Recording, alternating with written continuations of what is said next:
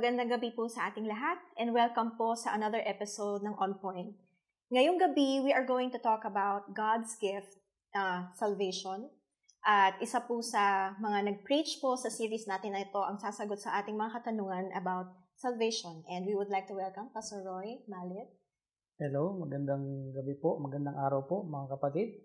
Magandang So, gabi po. Magandang gabi. At uh, welcome po sa On Point. So, Pastor Roy preached on Romans 5. Okay? And meron po tayo, Pastor, ng mga questions no, about Mm. salvation. And these are very, very interesting questions po. No?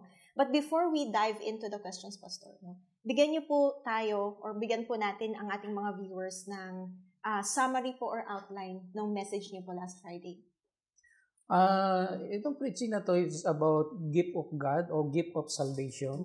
At pinakita natin dito kung bakit napakahalaga ng kaligtasan at bakit natin kailangan ng kaligtasan. So, makikita natin dito ang ginawa ng ating Panginoong Yesus at ang ginawa ng Diyos Ama kung paanong silang kumilos kasama ng banal na spirito, kumilos sa buhay ng bawat isa para makamtan natin yung buhay na walang hanggan o yung regalo ng Diyos sa buhay ng bawat isa. So, thank you po, Pastor. No, kahit po mga seasoned na mga Christians, uh, we still find it very encouraging na ma-review yung basics po ng ating pananampalataya. So, for our first question po, no, Pastor, basically, why is God in the business of saving mankind or saving us? Bakit po ba um, bakit po ba tayo hinahabol at laging hinahanap ng kaligtasan ng Panginoon kahit na may mga panahon na pinipili pa rin natin yung mundo tsaka yung kasalanan. Mm. Ah, eh, sa, sa question na yan, ah, ang sasagot na verses dyan ay yung John 3.16. Mhm. Okay? For God so loved the world. Ganun na lamang ang pag-ibig ng Diyos. Kaya nga, pilit tayong inaabot ng Diyos kasi alam niya, hindi natin kaya siyang abutin. Mhm. So, Diyos ang umaabot po sa atin dahil doon sa pag-ibig na meron ang Diyos sa sanlibutan. Mhm. So yun po, ang the greatest uh, na regalo na binibigay ng Diyos, yung buhay na walang hanggan, at binibigay niya yon dahil dun sa pag-ibig niya sa buhay ng bawat isa. Mhm.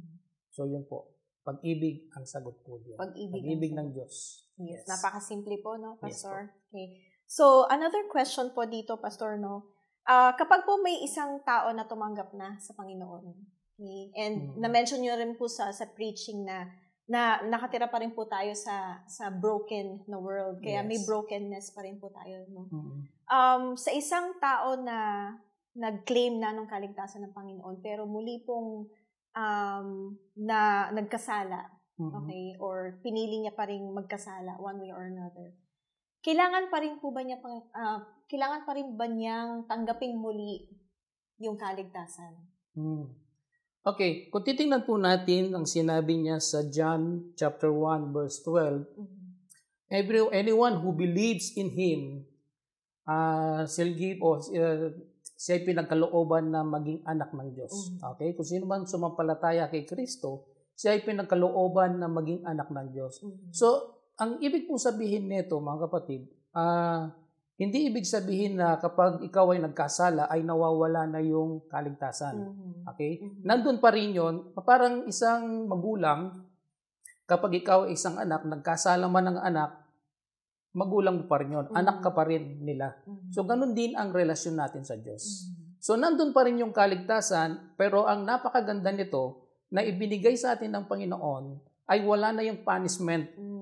But there is always consequences dun sa mga bagay na ginagawa nating kasalanan. Mhm. Yes. Mhm. Pero yung kaligtasan, nandun na yon. Mhm. So, ang gagawin lang natin ay humingi tayo ng tawad sa kanila. Parang din yung mga magulang natin dito sa lupa, tayo'y humihingi ng tawad sa kanila. At the same thing sa ating Diyos Ama. Mhm. Yes. Napakagandang example nun, Pastor, Yes. yung relationship ng mag-ama Amen. na um, hindi po completely na puputol or nasa-sever yung Amen. relationship. Pero, syempre, kailangan, bilang Kristiyano, kailangan po nating um, humingi ng tawad kasi magulang pa rin and, and to restore the relationship. Pero hindi po talaga na, ay, hindi na tayo, hindi na tayo mag-ama or hindi na Mm. tayo mag-ina dahil sa kasalanan na yun. Yes. So, Another question po, Pastor, no? Um, napakaganda nung preaching niyo po kasi it, it really emphasized na ang, ang kaligtasan ay, ay God's gift. Amen. Regalo na walang hinihinging kapalit. Di po ba, Pastor? Libre, kumbaga. So there there may be people, Pastor, na ang, ang takbo ng isip is, okay, since libre naman yung regalo ng kaligtasan, ah masaya pa ako sa mundo, masaya pa ako sa sa ginagalawan kong kasalanan o yung Mhm. yung mga makamundo kong ginagawa. So, since libre naman yung kaligtasan, balikan ko na lang sa kana kapag Mm. ka malapit nang bumalik ang Panginoon or ano ba, pag mag, may sakit na ako, mamamatay na ako, doon ko na lang Mhm. tatanggapin ng Panginoon. So, paano po kaya natin itatama yung ganong kaisipan? Obviously, sa mga ganong ah, kaisipan sa ating mga tao na meron tayo naririnig ng mga ganon, obviously makikita natin sa ganong tao ay ayaw niyang magpakorek pa sa Diyos. Mm. O ayaw niyang magpakorek sa Diyos. Ayaw niyang iwanan pa yung mga bagay na ginagawa niya sa mundo. Mm. Okay? Pero bilang sinners, ka, ka, sinabi nga na pa- baka gawin itong sandalan o Mm. gawin itong sangkalan para gumawa ng kasalanan. Okay? As I mentioned before sa aking preaching, sinabi ko doon na we are sinners not because we sin, Mhm. but we sin because we are sinners. Ang sinasabi natin dito ay ipinanganak tayo, even si Haring David, sinabi niya sa Psalm 51.5, na we are sinful at birth. Mhm. Okay? But we are sinners at hindi ito ang lisensya mo para gumawa ka ng gumawa ng kasalanan. Mhm. Okay? Kaya ang illustration ko dyan, yung sinabi ko na about dun sa muta, ay kailangan mong alisin yan. Okay?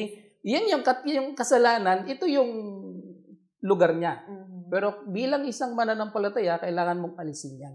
So ngayon sa mga unbeliever, paano natin maiiwasan o paano nilang maiiwasan o paano nating maipapaliwanag sa kanila na kailangan nilang alisin yon. Mhm. Unang-una, para, para ma, ma- magkaroon sila ng kaliwanagan, dapat mo munang ipakilala kung sino ba si Kristo. Mhm. Ano ba yung buhay na meron na binibigay si Kristo at kailangan din ating ipaliwanag na yung, yung patungkol dun sa kamatayan. Mhm. Mhm. Kasi wala namang nakakaalam kung kailan ka mawawala sa mundong ito. Mhm. Okay?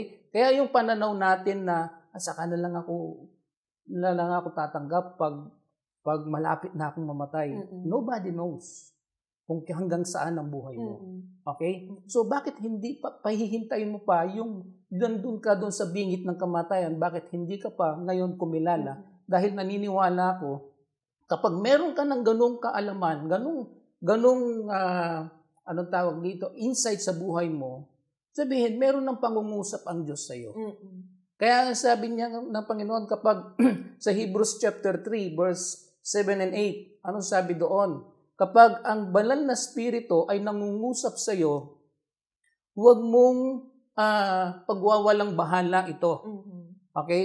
Anong ibig sabihin nito? Kailangan mong pakinggan ito. Mhm. Dahil ang Diyos ay nangungusap na sa buhay mo. Sabihin, sa dinami-dami ng tao, na i-reveal ng Diyos yung pagliligtas niya. Kasama ka doon at wag mo dapat ipagwalang bahala Mhm. yung pagliligtas ng Diyos. Kaya bilang tao, talagang nararapat lamang na tayo ay sumunod sa Kanya Mhm. doon sa panawagan ng Panginoon. Mhm. Kasi ang buhay natin, hindi natin alam kung Hindi hanggang sigurado. saan. Yes. Mhm. As if naman alam natin, Pastor, yung schedule, no? No? Para sabihin na, mamaya na, masaya pa ako dito. Ah, And related po ito, Pastor, sa isang illustration na nabanggit niyo po sa preaching, mm, ah, na para bang yung pagkamayaman, yung maraming isusurrender, hirap po silang Ah, yes. tanggapin yung... So, I think yung mga tao na nagsasabi ng ganito, sila po yung parang marami silang hindi kayang i-give up yes. para sa para lang tanggapin yung yung kaligtasan pa, ah, galing sa Panginoon. no? So, another thing po, Pastor, no, uh, minention niyo po sa inyong preaching yung God loves the sinners but hates the sin. Mm, Okay? Uh, although, however, sabi po sa Biblia na God loves us or tells us to be holy because He is holy. So, maaring may mga unbelievers po na iisipin na, ah, okay, kahit pala magkasala ako na magkasala, mahal pa rin ako ng, ng Panginoon. mm, Okay, so paano din po natin i-clarify yung ganitong idea? Ah, kagaya na nga ng sabi ko kanina, yung we are sinners, pero hindi ito lisensya para Mm. gumawa at gumawa ka ng kasalanan. Ngayon, ang paniniwalang ganon o sa mga para maiwasan natin sa mga unbeliever, we have to ano, ah, ipakilala si Kristo. Mm. Ano ba yung buhay na meron kapag ah, ikaw ay nawala sa mundong ito? Ano ba yung kamatayan? So this is the point na kung saan ah, napakahalaga na ipakita natin sa mga unbeliever yung sitwasyon na kinalalagyan nila. Mm. Kasi ang hirap kasi eh itong itong medyo mahirap sa mga unbeliever. Kaya naranasan natin maging unbeliever dati.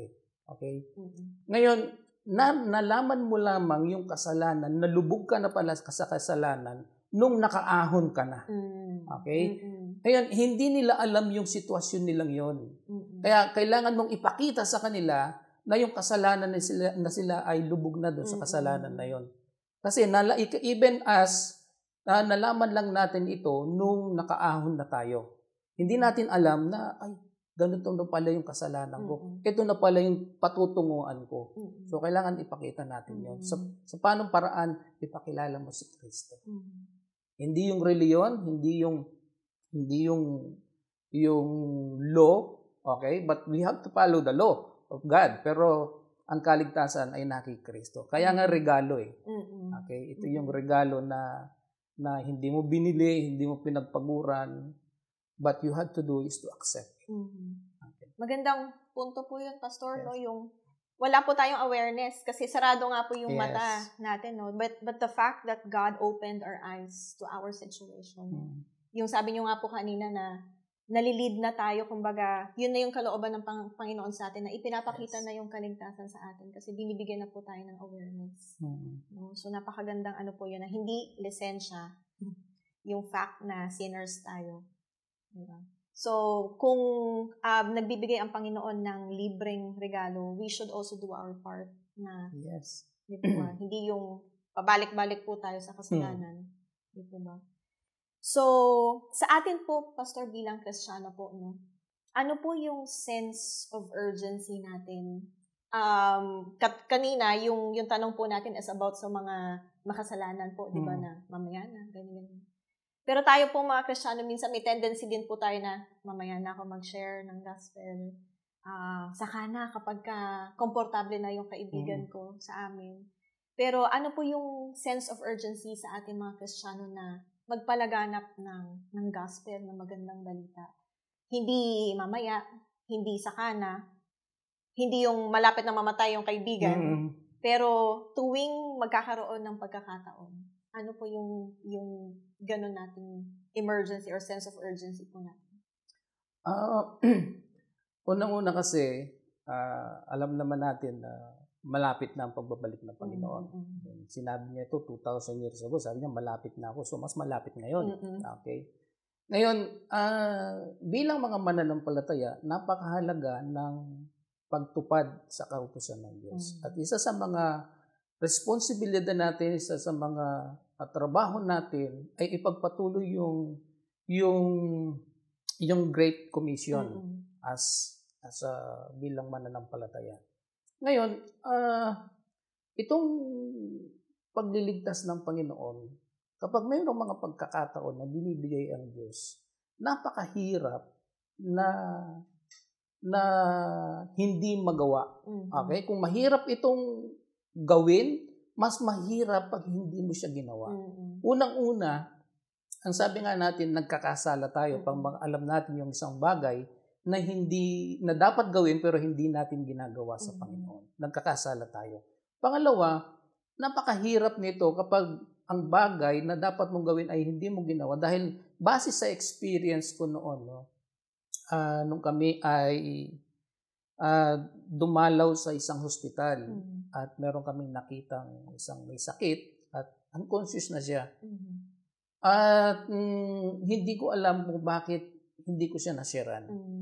Dahil siguro sa kadahilanan na ah, babae siya and then allowed lang babae ang mag-share. Mhm. And then pangalawa is yung nasa isip ko, hindi na siya gumagalaw Mm. o something na baka hindi ako maintindihan. But on the next week, ah dumalaw kami ulit sa ospital, namatay na siya. Mm. Alam niyo po yung sakit na naramdaman ko at saka yung yung guilt Mm. bilang isang mananampalataya na dapat sabi ko senioran ko to. Mm-mm. Ano mo sinasabi ko dito mga kapatid? Kaya napakahalaga na maibahagi natin yung salita ng Panginoon sa oras na binagyan tayo ng pagkakataon dahil hindi natin alam yung buhay ng tao Mm. kung hanggang saan. Mm. Okay, ikaw, okay, saved ka. Okay? Ikaw may kaligtasan Mm. ka. O paano naman yung iba? Mm-mm. Diba? Parang nagiging makasarili tayo kapag hindi natin ibinabahagi ang salita ng Diyos dahil unang-una nagsabi ng Panginoon na Mm. kailangan natin gawin. Mm.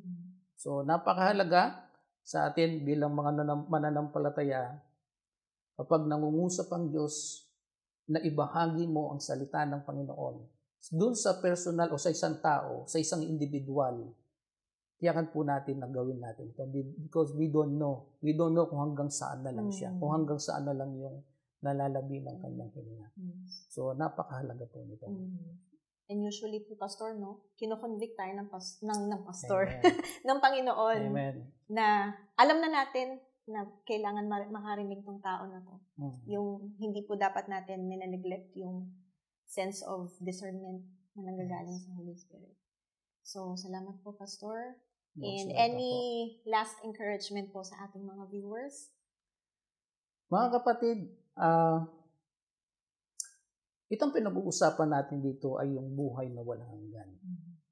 Na kung saan, kung ikaw ay tumanggap na sa ating Panginoon, ay nandoon na yung paghahari ng Diyos sa puso mo. Pero mga kapatid, wag po nating kimkimin ito, wag po nating sarilinin yung bagay na yon na kung saan, kung ibinigay ito ng Diyos ng libre sa atin, ibigay din natin ng libre sa iba. At huwag tayong maging makasarili. Kasi hindi natin alam, lalong-lalo na sa mga mahal natin sa buhay, hindi natin alam kung hanggang saan yung lakbayin nila. At napakahirap, lalong-lalo na sa mahal mo sa buhay, kung mawawala siya sa mundong ito, hindi mo alam kung saan siya tutungo. So, payo ko lang po, mga kapatid, kung mahal mo ang pamilya mo, mahal mo ang magulang mo, ang tatay mo, ang anak mo, ang ang asawa mo, share the gospel. Share mo yung regalo ng Diyos na kung saan ito ang magbibigay ng katuparan sa layunin ng Diyos sa buhay mo at ito ang magbibigay na buhay na walang hanggan. Amen Salamat. po. Amen po, Pastor. Again, marami pong salamat kay Pastor Roy Malit for answering the questions sa ating uh, on point tonight based on his preaching on Romans chapter 5. Muli po, uh, isend niyo po ang inyong mga questions sa bcf.onpoint at gmail.com tuwing after our Friday preaching. Magandang gabi po sa ating lahat and thank you for watching.